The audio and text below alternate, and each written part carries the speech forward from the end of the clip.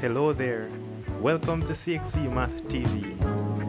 Today we will be looking at variations, a really nice topic.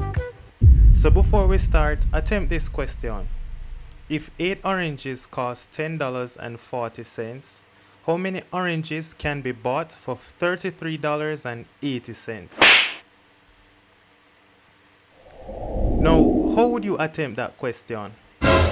maybe to do this question what you did is you say eight oranges is $10.40 and so one orange would just be $10.40 divided by 8 which is $1.30 and so the number of oranges bought is just the total price the 33.8 divided by the price of one orange and so you got 26 so 26 oranges were bought for 33.80 right? Maybe that's what you did. Now, my question is, what did you notice in doing this question? Did you notice anything in particular? Now, what you should have noticed is the more oranges are bought, then the more money you must spend. Makes sense. In other words, the number of oranges is directly proportional to the price of the oranges. Another way of saying that is the more oranges that you buy, the more the price will increases. In the same way the less oranges you buy, then the less money you would spend. Now this is known as direct variation.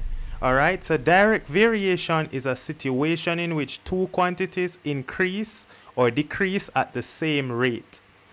So oftentimes we use worded statements such as y is proportional to x. So that weird symbol right there in between y and x means proportional. So that reads y is directly proportional to x. When two variables y and x are directly proportional to each other, then we write y is proportional to x and then it gives us the equation y is equal to k times x where k is known as your variation constant or constant of proportionality. Alright? Now, let's go back to the question, right? If 8 oranges had cost $10.40, how many oranges could be bought for $33.80? Now, look at this. We say that the number of oranges bought is directly proportional to the cost of the oranges right? Which is true because if you buy more orange, you're going to spend more money. So they must be directly proportional according to the definition. And so let n represent the number of oranges bought and c represent the cost of the oranges. Since they're directly proportional, we can write n is directly proportional to c. Now by the definition of proportionality, right? We can then say that n is equal to a constant times c. That is what we do when they're directly proportional. So since n is equal to a constant times c, so when n is 8, c is 10.40. When we bought 8 oranges, the cost was 10.4.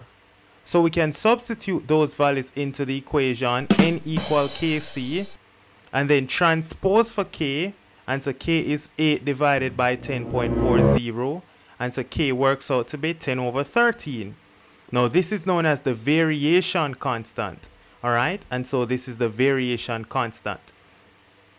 Now once we get the variation constant we substitute it back into the original equation n is equal to 10 over 13 times c and when c is 33.8 we need to find n because when the cost is 33.80, we need to find how many oranges that is.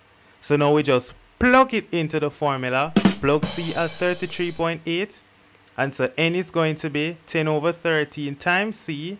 So when you plug C as 33.8, you get N is 26. Ah, that's the same as the answer we got before. And so the number of oranges bought is just 26. It is that simple. Nice. So now let's look at a more exam style question of how they would give you direct variation. Look at this right here. It says S varies directly as T and S is 8 when T is 16. Find the constant of variation and write a direct variation equation relating S and T. Then find T when S is 64. Beautiful. So first thing we start with is since they're proportional, then S is proportional to T. So you put the weird symbol again and say S is proportional to T. So now we can then conclude S is equal to some constant times T. Now, when S is equal to 8, T is 16, so plug those into the equation. We plug those into the equation, we get K is equal to 8 over 16 is a half. And so S is a half T, because K is a half. Now when S is 64, we need to find T. So you plug that into the formula and you transpose and we get T is 128. So when S is 64, T is 128. Alright? So remember the question that asked us to find the equation. So the equation, the direct variation equation would be S is a half of T. Beautiful. And the constant, the variation constant would be, as you rightfully say, a half. Nice. Now there's another way that you can do variation, direct variation that is. And remember, because the price increase or decrease at the same time, both quantities are being increased or decreased at the same time, then we can say that S1 over T1 must be the same as S2 over T2. All right? Because both quantities are increasing and decreasing at the same rate. And so we can say 8 over 16 must be 64 over the t value that we need to find. So we can cross multiply and then find that t value and by doing all of that we'd still get t is 128. So that's method 2 of doing direct variation. Either way is fine but we prefer to stick to method 1. Now let's look at a table question right here. Given x varies directly as y, what are the values of a and b? And they give us this table right here. So pause an attempt and find a and b.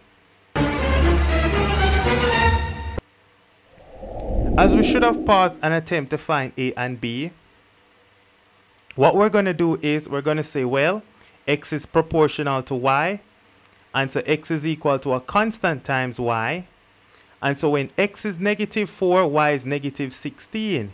And so we plug that into our equation. x has negative 4, y has negative 16. And we transpose for k. We get k is a quarter. So now the direct variation equation is x is equal to a quarter of y. Now look back at the table. When x is negative 5, the y value is a. So we can say that negative 5 is a quarter of a. So we transpose for A and A is negative 20. Ah, beautiful. Method 2. Again, you can always say that the x value over the y value, x1 over y1 is the same as x2 over y2. And by doing that method, you transpose, it still get a is negative 20. That's if you want to use method 2, but I strongly recommend doing method 1, finding the constant the variation constant. That way is the safest way. All right. Now to find b, what happens? At b, when x is b, the y value is 12. So we just put the y value as 12 and set x to b. So b is going to be a quarter of 12 and a quarter of 12 is 3. So b is 3. So now you can put a into the table as negative 20 and put b into the table as 3. Now look at this. What do you observe in the final table?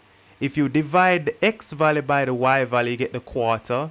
If you divide negative 5 by negative 20, you get the quarter. If you divide 3 by 12, you still get quarter. So you know that that is correct. Direct variation. You know you're fine.